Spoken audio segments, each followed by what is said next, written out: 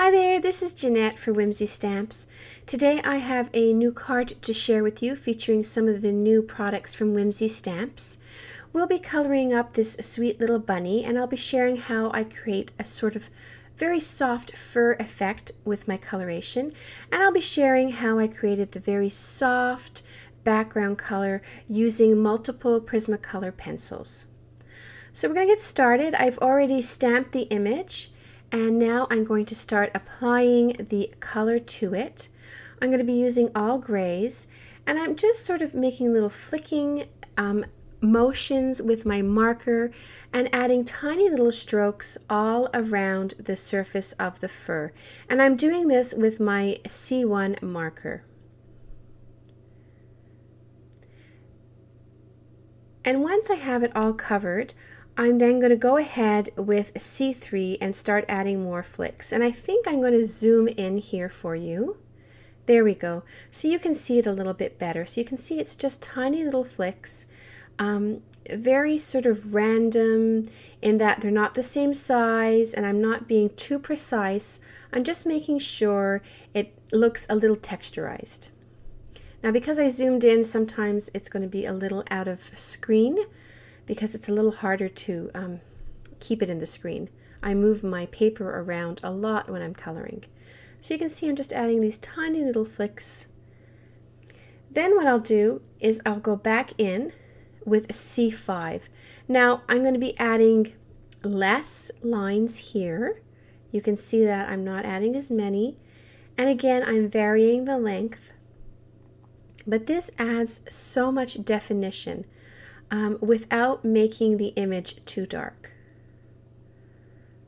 So where there's more shadowed areas, I'm going to be adding a little bit more, but being careful not to overpower the image. Now I decided to add a little detail above the nose and I didn't really like it very much so you're going to see I'm going to get rid of that in a little bit. So now I'm back in with my C3 going over those stroke marks again just blending it a little bit. I blended that little part over the nose and I'm just completing, sort of filling in the areas. I did take my colorless blender there and sort of run it over that area by the nose to get rid of the color.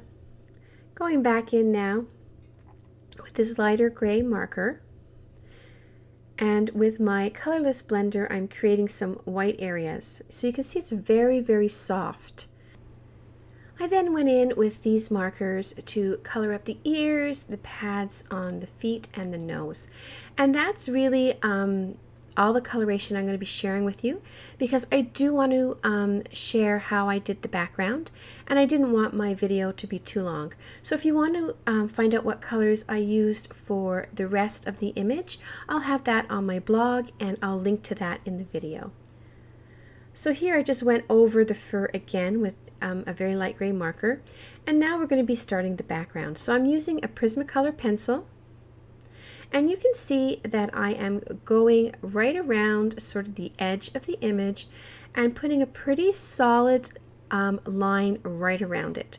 So you want your line to be very uniform around the image and you want quite a bit of color there because we're going to be going in with Gamsol and a blending stump and we're going to be sort of dissolving that color with the Gamsol and then sort of spreading it out um, away from the image so that you get a very diffuse sort of background. So this first step is important. Make sure you get all the areas covered.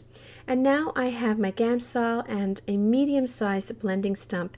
And you can see I'm going in where the color is and I'm dissolving it. I'm using sort of circular motion and then I'm sort of blending away from the image. I did put a piece of paper underneath there because my mat was a little sort of bumpy and that was affecting how I was coloring it so that's why that piece of paper is there. So you can see I'm just dissolving the color and then blending it away. You really want it to fade almost to nothing.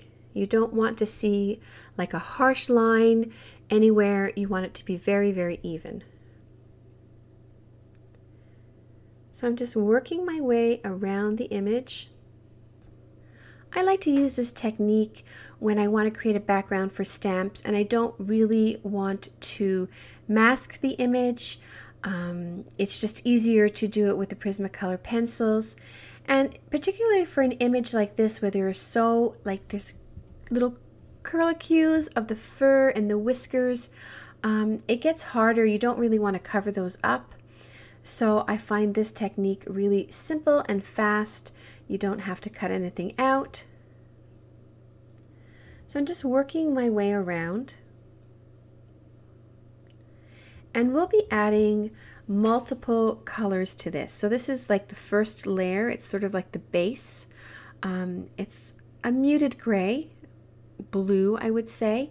It's not a vibrant blue. So now that that's all done, I'm going to go in with my next pencil. I'm going to make sure everything is nicely blended. And then I'm going to add this pencil. So I'm sort of filling in those whiter areas around. And you can see I didn't press hard. I did a very sort of light scoring over the image. And I'm using a larger blender, blending stump to sort of dissolve all that together. Then I'm going in with this sort of turquoise color. So this is a brighter color. I'm adding a little bit more of it and you can see that it's sort of brightening up the sky a little bit, making it look less sort of, um, how can I say, flat because the colors are, are blending in. I'm going to be adding some yellow here on the top and you can see my paper's getting a little bit wet where you can see it's a bit darker. That isn't the pencil, it's the Gamsol. It's going to evaporate and lighten up. I added some yellow along the sides as well. And again, just using a very big blending stump to sort of blend it all away.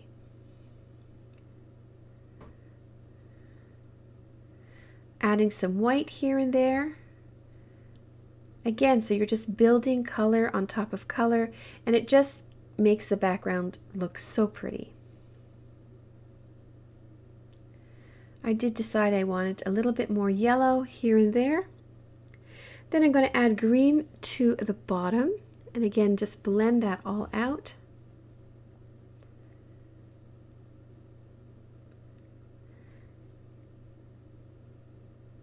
And then I'm going to go in and just darken up the eyes and a few little areas with a dark gray pencil. I'm adding little highlights to the eyes with a white gel pen and a few little dots here and there. And now I'm creating my card base, just scoring a piece of Neenah in half or cutting it in half and then scoring that in half to create my card base. I am going to cut a nice sort of scalloped frame with Neenah again. I'm using this, I think this is called the Madison Avenue by Mama Elephant. I'll link everything at the bottom of the video. Creates a very nice um, scalloped frame. And I'm going to be using these new um, brush script alphabet dies from Whimsy. These are gorgeous. I love them. So what I do is I just keep everything attached and I just cut everything out at the same time. I find that easier. Um, and then I'll just always keep my extras that I'm not using, I'll keep them in a little pouch. So I'm going to be coloring them up using the same blues that I used to color the sky. Um, I'm going to be using those colors to color up the alphabet. It's easier to keep them sort of all stuck in the paper and I will have to go back because I need I'm making the word or spelling the word Easter, I'll need two E's, so I will have to go back and cut another E and do the exact same thing. So once I have all the color down, I'm going to take a blending stump and just blend it all together. You can see I kept the darker colors towards um, the edges of the, the, the letter, and then I'm just blending it and you get sort of a graduated color. And you can always go back and add more color if you need. Then I'll just pop these out and you can see how pretty they are and they are going to match my background beautifully. So here you can see everything is set up. I did put that frame on with some foam tape and now I'm just going to be gluing down the letters. And I sort of because they're so whimsical, I didn't want them to be like in a straight line. So you can see they're sort of staggered a little bit and it just makes, I find it makes the card look so cute. So I'm almost done here. And I love these dies. I love these alphabet dies because um, they also have like a number set in the brush script and a lowercase set as well. So you, you can create so many beautiful titles and sentiments with them. So now I'm just adding some clear rhinestones to my card. This again adds texture and interest. And I'm going to go ahead with my white Sharpie and add some white dots to the sky as well. And again, this just makes everything sort of um, pop a little bit more, adds depth and texture to your card. So thank you so much for watching. I hope you enjoyed um, seeing how I created this card. A full list of supplies, um, links to those supplies can be found below this video on YouTube or my blog. Thanks for watching.